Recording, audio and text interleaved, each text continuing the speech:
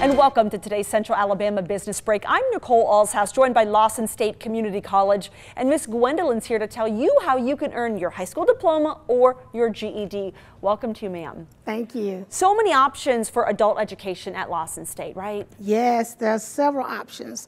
We offer opportunities for individuals to get their high school diploma, their GED, opportunities to get basic soft skills, to scale up for employment by getting basic certifications uh, in several areas, and we offer opportunities for them to enter post-secondary ed. So that's a lot of options for mm -hmm. our mm-hmm. viewers. Now, after they go through this program, what's the goal after?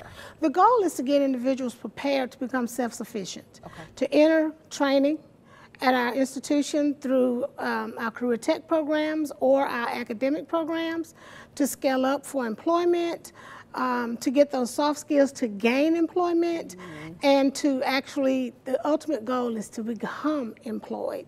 Okay, that's a good point. And you have an entire team there at Lawson State to help the men and women that may be interested in this program. If they want to learn more, how do viewers get involved? They can pick up the phone. Okay. They can call 205 929 2133 and ask for Ms. Nix, and she'll be more than happy to assist them.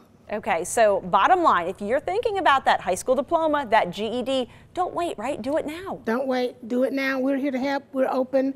Um, we have morning, evening, and night classes, so they can come any time of the day. Okay, so no excuse. No excuse Get all. your education today. Thank you for being here. You're welcome. Thank you for inviting us. Of course. Lawson State Community College, the website and phone number at the bottom of your screen for that high school diploma or GED.